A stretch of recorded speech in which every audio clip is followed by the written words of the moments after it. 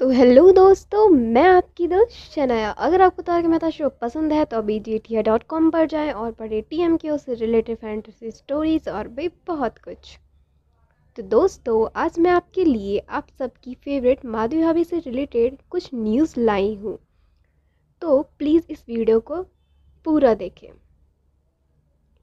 और लाइक कर दें। दोस्तों, तारक मेहता शो के मोस्टली सभी फैंस माधवी भाभी को बहुत पसंद करते हैं और वो उनकी एक्टिंग और उनके लुक्स दोनों के फ़ैन हैं।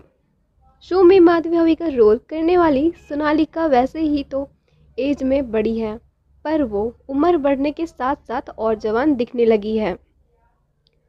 वो अपने सोशल मीडिया हैंडल पर भी एक्टिव रहती हैं और हाल ही में उन्होंने अपने इंस्टाग्राम पर एक वीडियो भी पोस्ट की है।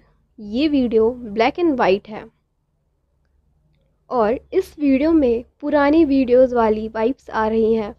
वीडियो में सोनालिका जी ने श्री साड़ी पहनी हुई है।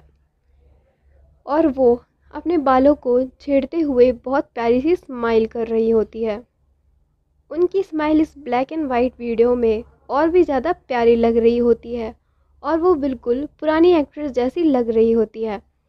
वीडियो में राहत फ़तेह अली खान का, तेरे भी नहीं लगता दिल मेरा डोलना सॉन्ग चल रहा है, जो इस वीडियो को और सुंदर और आकर्षक बना रहा है।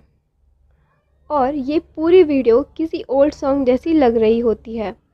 कैप्शन में माधवी भाभी अपने फैंस को गुड मॉर्निंग बोल रही होती है और उनके फैंस भी उन्हें विश करते हैं। और साथ ही उनके इस वीडियो और क्लासी लुक की तारीफ़ करते हैं और उनके लिए प्यार भरे कमेंट्स कर जाते हैं।